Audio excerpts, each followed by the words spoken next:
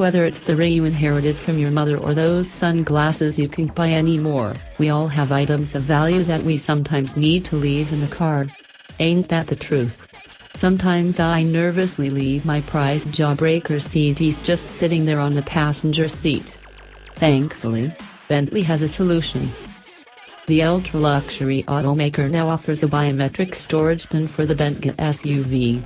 It's constructed from aluminum and uses fingerprint recognition technology to provide secure storage of all your valuables. Designed by Bentley's personal commissioning division, Mulliner, the storage bin takes up space in the Bentayga's center console, hidden underneath the armrest.